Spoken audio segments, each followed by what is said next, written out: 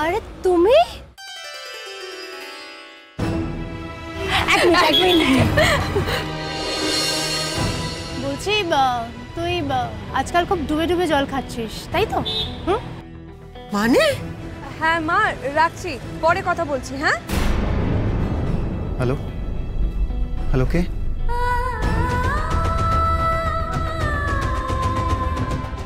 তিতির তোমার ফোন।